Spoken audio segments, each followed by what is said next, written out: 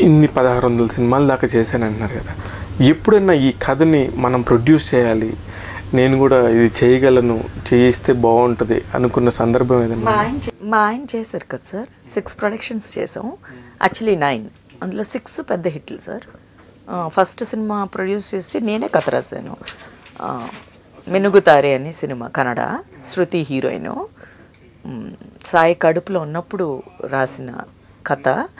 ఆ సినిమాతో మాకు అంత లాభం వచ్చింది. శృతి హీరోయిన్ అనమాట ఇది. ఇంకో పిల్ల పేరు మర్చిపోయిన. ఆ అమ్మాయి వినోదిని. ఆ అమ్మాయి వాళ్ళిద్దరి మీద ఫ్రెండ్స్ మీద రాశాను గర్ల్స్ మీద. It's a big profitable movie for us మాది శ్రీ సాయి వినాయక ఫిలిమ్స్ అని మాది. దాని తర్వాత టీవీ సీరియల్స్ చేశారు మా వారు. So we have a production house Suhasini పనిచేసింది మా ఆయన డైరెక్షన్లో చాలామంది పనిచేస్తారు సార్. సాయి కుమార్ దేవరాజ్ శివరాజ్ కుమార్. మీ మీది లవ్ మ్యారేజ్ అవునండి. అదే చెప్పండి మేడం మీరు మీ హస్బెండ్ శివమణి గారి గురించి చెప్పండి. ఆయన ఏంటి ఆయన్ని ఒక రోజులో పెళ్ళి చేసుకున్నాను. అండ్ ఆయన కన్నడలో పెద్ద ఫిల్మ్ డైరెక్టరు.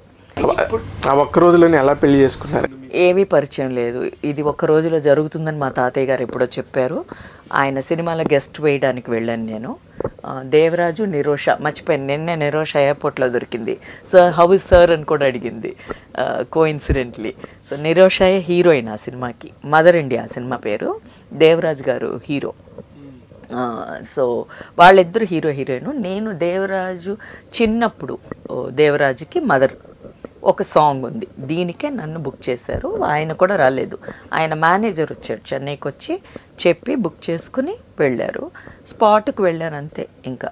ఇంకా తర్వాత అప్పుడు మా తాతయ్య బాబా ఫోటోలు ప్రతి ఇయర్ ప్రింట్ చేసి వెనకాల లెవెన్ సేయింగ్స్ ఉంటాయి బాబావి. అది రాసి ప్రింట్ చేసి ఉండేవి. అది ఇప్పుడు నా దగ్గర ఒకటో రెండో ఉన్నాయి అంతే. అది మాత్రం జాగ్రత్తగా మా తాతయ్య గారు ఇచ్చిన నాకు ప్రెషియస్ సచ్చరిత ఉంది. అదే నా ముఖ్యమైన గిఫ్ట్ అనుకుంటాను జీవితంలో. అందులో ఉన్నదనమాట ఇది అందరికి ఇచ్చేదానండి నా బర్త్డే అప్పుడు. తాతయ్య ఇవ్వు అనేవారు. సో అది శివమణికి ఇవ్వడం జరిగింది. ఎప్పుడు ఏడు విశ్వనాథ్ గారి తర్వాత హీరోయిన్ అయ్యాక ఎవరి కాళ్ళు ముట్టలేదు. ఎందుకు వాళ్ళ ఆయన కాళ్ళు ముట్టానని కూడా తెలియదు బట్ ఎక్కడ పెళ్ళి అయిపోయిన మూడో రోజుకి ఇది గుర్తుకొచ్చింది. అవును కదా తాతయ్య అన్నారే ఒక్క రోజులో నీ పెళ్ళి జరుగుతుంది. ఆ గుడి కూడా మా తాతయ్య కట్టిన గుడి. ఆ గుడిలోనే మా ఫస్ట్ సినిమా స్టార్ట్ అయిందండి. సాయిని ఇలా ఎత్తుకుని క్లాప్ కొట్టే ఫోటో ఉంటుంది చూడండి.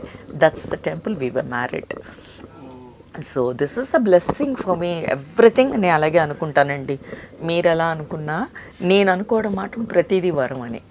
మేము అనుకోవటానికి ఏముంది మేడం? మీరు బాగుండాలి డెఫినెట్గా ఇన్ని నేను బాగున్నాను. ఆ, వరంతోనే బ్రతికేస్తున్నాను సార్ హాయిగాను. సో అలాగా శివమణితో పెళ్ళవడం బాబు పుట్టడం వాడు సాయి సో ఈ ప్రతిదీ నాకు బాబాతోనే కనెక్ట్ అయి ఉంటుంది సార్. సో అలాగా ఇప్పుడు నా కొడుక్కి ఇప్పుడు అయింది. ఒక ట్వంటీ ఫైవ్ ఇయర్స్ అవుతుంది బాబుకి. శివమణి ఇప్పుడు యాక్ట్ చేస్తున్నారు. ఆ యాక్ట్ చేయడం మాత్రం మా ఇద్దరికి ఇష్టం లేదు నాకు నా కొడుక్కి. అంటే అంత అవసరం లేదని. బెంగళూరులో సెటిల్ అవడానికి కూడా కారణం శివమణి గారే. అవునవును మరి ఆయన అక్కడ కన్నడ సినిమా డైరెక్టర్ కదా. అదే మీరు చెన్నైలో పుట్టి తెలుగులో ఫేమస్ అయ్యి కన్నడకి కోడలుగా వెళ్ళారు. కానీ ఎప్పుడో మన శంకర్ నాగ్ గారు ఆయన అంటే చాలా ఇష్టం నాకు. ఆయన సినిమాకి నగబేకమ్మ నగబేకు అని ఒక టైటిల్ పెట్టి ఒక సినిమా టైటిల్ రోలు. దానికి రామ్ బాబు గారని మన తెలుగు ఆయన ప్రొడ్యూసర్. ఆయన మొన్న ఒక విషయం చెప్పారు అది మీ ఇంటర్వ్యూకి హైలైట్ అవుతుంది చెప్తాను ఉండండి. ఆయన కి శంకర్ నాగ్ గారు చెప్పారట శంకరాభరణం తులసిని పట్టురండి ఈ టైటిల్ క్యారెక్టర్కి అని చెప్పడమే నాకు పెద్ద మీకు తెలుసు శంకర్ నాగ్ గారు ఎలాంటి. కో ఇన్సిడెంట్లీ మా husband is Shankar Nag's fan. ఇది పెళ్ళి చేసుకున్న తర్వాత ఆయన ఇంట్లో అన్ని శంకర్ నాగ్ ఫోటోలు ఉండేవి. అలా చూసి తెలుసుకుని చూడండి తెలి ఎక్కడో తెలియని ఒక బంధం ఉంటుందంటారు. సో అలాగ అప్పుడు అనుకునేదాన్ని. వాళ్ళ బ్రదర్తో కూడా యాక్ట్ చేశాను అనంత్ నాగ్ గారు అదే మన ముగ్గురు మిత్రులే కన్నడలో చేశాను ఉమ్, అప్పుడు సుమలత క్యారెక్టర్ చేశాను నేను కన్నడలో. అందులో ఈయన అనంత్ నాగ్ గారేమో హస్బెండ్ క్యారెక్టర్ అప్పుడు అనుకునేదాన్ని ఈ వెదర్ చాలా బాగుంది ఇక్కడ సెటిల్ అవ్వాలి అని ఎక్కడో అది మళ్ళీ ఫలించింది సార్.